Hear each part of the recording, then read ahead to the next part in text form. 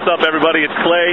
We're out here in my hometown of East Aurora. Uh, we've got this new flag system, I guess. Uh, when you cross the street here at Whaley in Main, they've got some yellowish, greenish, bright flags that you're supposed to carry with you when you cross the street. I can hardly say it with a straight face. This is one of the funniest things I've ever seen happen in my little town of East Aurora.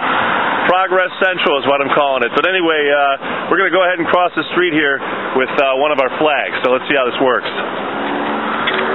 Take one of these bad boys out. See if anybody stops. Got my flag. Here we go. Wow, that guy didn't. There goes one car that didn't stop. I got my flag, waving it. Here we go. See the people on the street slowed down a little bit. See if this lady's going to do one here. Then you got to go ahead and throw it back up in this little system here says, uh, look left and right when crossing for added visibility. Carry a green flag across with you. Now, I didn't see a whole lot of people stop when I went across, but they're looking. They're slowing up at least.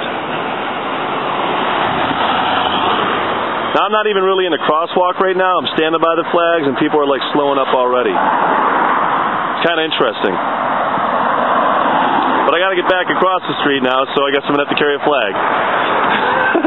this is awesome. All right, here we go. Got my flag. And somebody just stopped. Thank you very much, sir. I stopped there, got my flag, I'm waving. There, they're stopping.